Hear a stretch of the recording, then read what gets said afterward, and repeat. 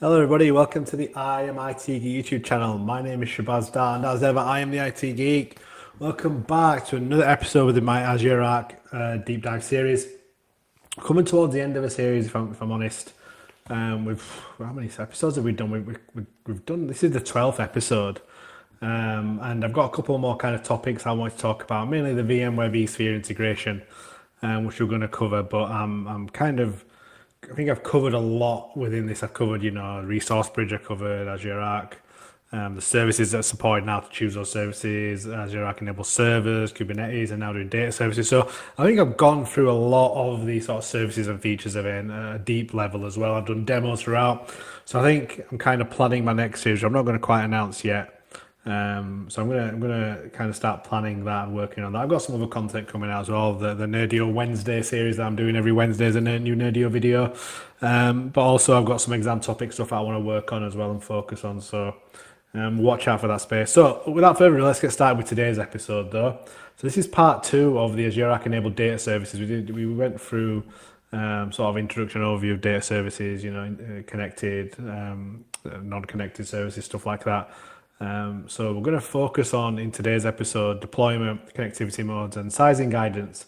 And then again, we're just going to do a bit of an overview in, in the not an overview. We're going to actually go into the demo, look at some of the other features we can, you know, management features we can integrate with the virtual machine that's in VMware uh, on uh, hosted on vSphere uh, or, or, VMware on premises essentially. Um, so let's start off by talking about again. It's going to, kind of bit of an overview, but this is um, it's different from the overview from from this is a deployment overview essentially.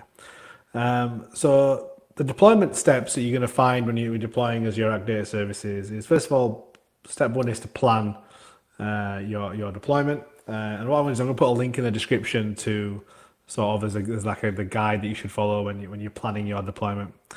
Step two is to install the different client tools that you want to use um, for for your for your deployment. Uh, then step three, to register the Microsoft Azure Microsoft Azure Arc data provider for the subscriptions where you want Azure Arc data uh, enabled services to be, or when you want them to be deployed. Step four is to access a Kubernetes cluster, um, which is the one you want to integrate into Azure using Azure Arc enabled services. And then step five is to create an Azure Arc uh, data controller in direct connectivity uh, mode. There's some prerequisites to that. You then start creating your data services, and, and step seven, you can you can you can connect with the Azure Data Studio. As you begin planning to deploy uh, Azure Arc enabled data services, it's important to properly understand your database uh, and its workloads and, and your sort of business requirements to those workloads. An example, you know, you need to consider availability, business continuity, and capacity requirements for memory, CPU, storage, and things like that for your workloads. And you need to carefully prepare the infrastructure to support the workloads based on what your business requirements are as well. Uh, so let's talk about the different connectivity modes now. So there are multiple options for the sort of degree of connectivity from the Arc from Azure Arc enabled data service environments to Azure. And, and Azure requirements vary based on business policy, gov- governance, uh, or government regulations as well. Um, or sort of the availability of, uh, of network activity to Azure, you can choose from from different connectivity modes. So we've got directly connected and indirectly connected, and we mentioned both of those in the last episode. So the connectivity mode is going to provide you that flexibility to choose how data is sent to Azure and how users interact with um, Azure Arc data controllers. Uh, depending on the connectivity mode that is chosen, some functionality of Azure Arc enabled data services might not be available. Um, so I wanted to do a bit of a deeper dive into the connectivity mode, which is why we've got this table. Um, as you can see, it shows us a bit more information, a bit more deeper dive. We kind of did an overview of it yesterday. So if we look, there's again apologies. There's there's a bit that's gone off, but you can see most of it. The table goes a bit further down the slide, but you can see all the information. So um, we've got indirectly connected mode first. So this is indirectly connected mode, and it's going to offer most of the sort of management services that are local in your environment with no di- no direct connectivity to Azure. it's obviously available, um, and, and sort of typical use cases you see sort of on-premises data centers that don't allow any sort of connectivity in or out of that data region, uh, or you know the data center due to business or sort of regulatory compliance. Uh, and we talk about how we spoke about how data is sent to Azure. And it's kind of manual, basically. You have to manually export it. We then have directly connected, as I mentioned. So this is directly connected to Azure and offers all those services that are, you know that, that were in Azure.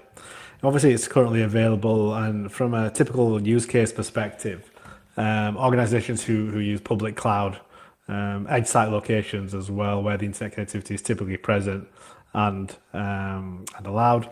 And again, data can be automatically and continuously sent to Azure, so there's not not any manual intervention. And from a, there's another option like never connected, so there's no data can be sent to to or from Azure. So this isn't currently supported. Um, it's a proper air gapped kind of environment, which is a typical use case, and data is never sent to Azure either.